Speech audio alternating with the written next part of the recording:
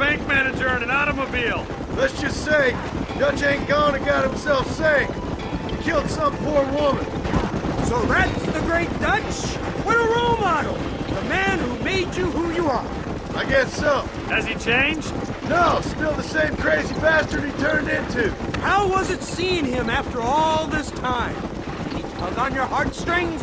Kinda reminds me of you. Violent piece of shit who went and confused himself with God. Isn't that sweet of you? Now you must kill him. Your side is chosen. My side ain't chosen. My side was given. I'd kill you a hundred times before I killed Dutch.